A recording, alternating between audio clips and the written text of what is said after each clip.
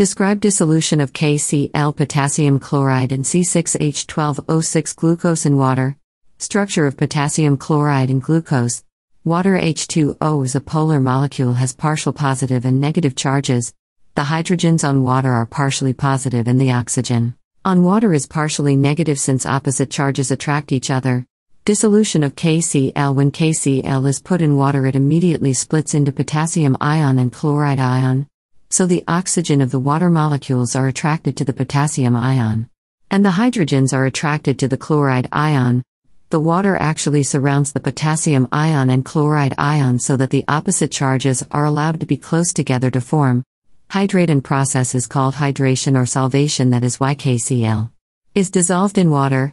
Dissolution of glucose. Glucose is polar with OH group and water is also polar. Water has partial positive and negative charges. The hydrogens on water are partially positive and the oxygen on water is partially negative since opposite. Charges attract each other so the oxygen of the water molecules are attracted to hydrogen of glucose to form hydrogen bonding that is why glucose dissolve in water. Next question. Calculate the molarity of 4.6% weight by weight solution of NaOH.